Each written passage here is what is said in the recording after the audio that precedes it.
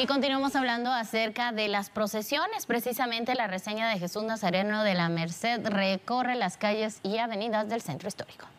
Este martes santo en que se desarrolla el tradicional cortejo procesional de la consagrada imagen de Jesús Nazareno de la Merced de la parroquia del mismo nombre ubicada acá en la zona 1 capitalina. Este día esta procesión es muy característica de martes santo puesto a que le acompañan los fieles quienes se depositan flores al paso de este Nazareno que pues recorrerá también el próximo viernes santo estas calles. También pues podemos observar una cantidad de personas, el comercio pues se ha aglomerado en este sector para poder ofrecer estas flores que posterior serán colocadas en el anda de Jesús Nazareno de la Merced. Para un martes santo más en este año 2024, Jesús Nazareno de la Merced recorre nuevamente las calles. Sí, hay que sonreír porque Jesús de la Merced ha vuelto a salir, decían las abuelitas, en este cortejo que es eh, alegre, podríamos decir, pero a la vez es solemne.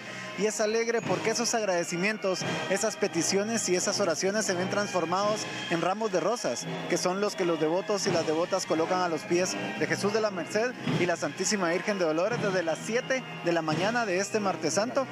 Eduardo, eh, es muy característico de esta procesión y podemos observarlo en eh, pantalla, cómo las personas lanzan estas flores a Landa que porta esta consagrada imagen. ¿Cuál es la mecánica que ustedes siguen? Porque creo que llega un momento en donde el peso de las mismas puede pues, provocar también un peso bastante fuerte para los, em, para los eh, que van cargando. Es correcto, precisamente donde se encuentran ubicadas las cámaras de, de nuestros amigos de TN23 podrán ver ustedes cómo los carretones ingresan en la parte de abajo y es allí donde se realiza esta labor de sacar las flores que los devotos han colocado. Y una pregunta que alguien podrá hacer es, bueno, ¿y las flores las tiran o qué hacen con ellas? Estas flores son donadas a diferentes instituciones y muchas parroquias aledañas a la Merced que las utilizan para el altar del Santísimo el día jueves santo. Es decir, estas flores que fueron donadas para Jesús de la Merced van hacia el monumento que se utiliza en ese jueves eucarístico.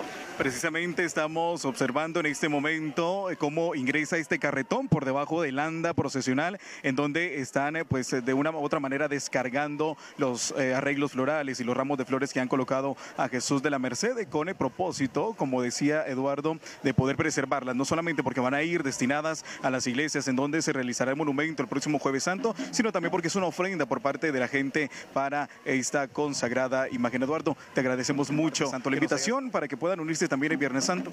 Sí, la invitación es para que nos, para que nos acompañen en el próximo Viernes Santo, 29 de marzo.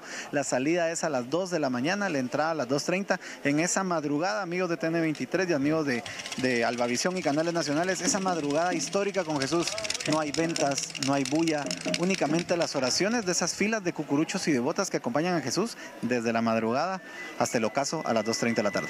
Muchísimas gracias, Eduardo. Es el panorama que se vive en el centro histórico en este martes santo de Jesús Nazareno de la Merced. Ustedes podían observar la cantidad de flores que ha adornado hasta esta hora esta anda procesional.